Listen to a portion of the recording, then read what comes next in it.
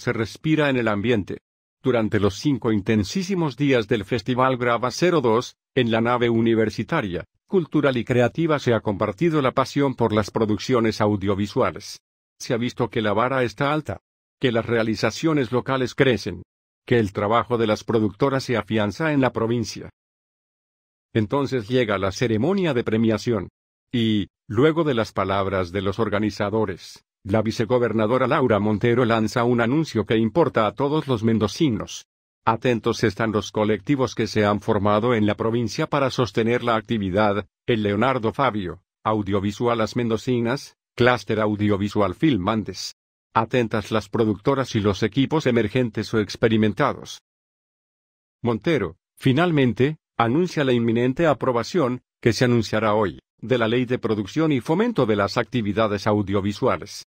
Especificó que la ley tiene como finalidad garantizar el estímulo de la industria audiovisual, que tiene que ver con desgrabaciones impositivas, un fideicomiso, de 15 millones de pesos, para armar un fondo de garantías y un fondo solidario, de 4 millones de pesos, para dar subsidios a hacedores culturales.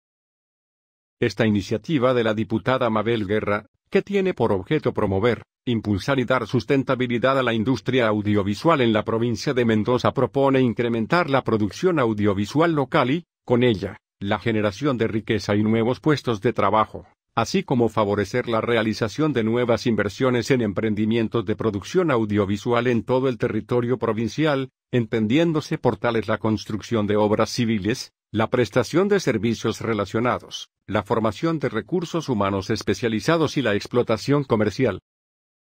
Es en este sentido que se creará el régimen de promoción para el desarrollo de la industria audiovisual, permitiendo de esta manera la diversificación de la matriz productiva local, el impulso de la marca Mendoza, el incremento del turismo y la generación de nuevos puestos de trabajo de alta calificación.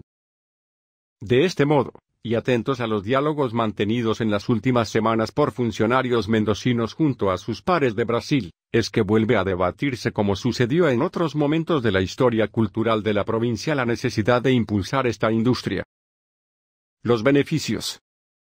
La ley otorga beneficios en materia impositiva y le asigna un puesto jerárquico a la autoridad de aplicación dentro del Ministerio de Economía, Infraestructura y Energía de la provincia, quienes deberán fomentar y gestionar el pleno desarrollo y evolución de la industria audiovisual, coordinando las acciones necesarias a tales fines con los demás organismos de gobierno y con el sector privado, difundir en la provincia la importancia de la industria audiovisual en tanto generadora de empleo y actividad económica de bajo impacto ambiental, entre otras.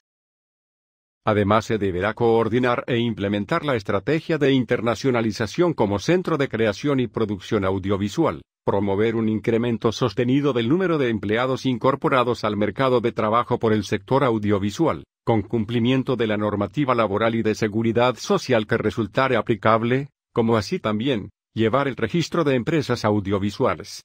Finalmente, resalta el capital humano con el que cuenta Mendoza para el desarrollo audiovisual, junto a la oferta educativa provincial y las ventajas que la provincia ofrece en cuanto a paisaje, clima y conectividad nacional e internacional.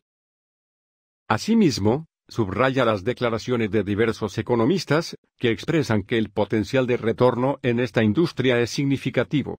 Una única producción llega a emplear centenares de personas con un efecto multiplicador teniendo en cuenta gastos en transporte, servicio de catering, indumentaria, escenografías entre otros, lo que genera millones en actividades económicas relacionadas.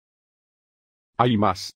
Este jueves se anunciará en Godoy Cruz, con el apoyo del Banco Interamericano de Desarrollo, el Polo Audiovisual de Mendoza, Proyecto Distrito Creativo Filmandes, el programa Buenos Aires 2023 y la firma de apoyo al clúster de industrias creativas de Mendoza por parte del FOMIN, Fondo Multilateral de Inversiones del BID.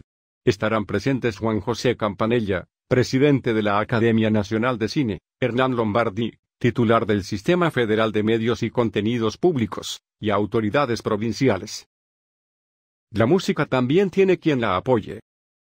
El municipio de Godoy Cruz impulsó una ordenanza que está en sintonía con la ya aprobada Ley Nacional de la Música.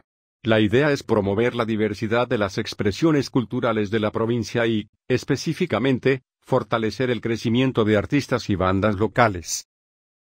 La citada norma establece que en ocasión de que un músico extranjero se presente en vivo, en el marco de un espectáculo en la Argentina, deberá ser contratado un músico nacional registrado o agrupación musical nacional registrada, que contará en el evento con un espacio no menor a 30 minutos para ejecutar su propio repertorio.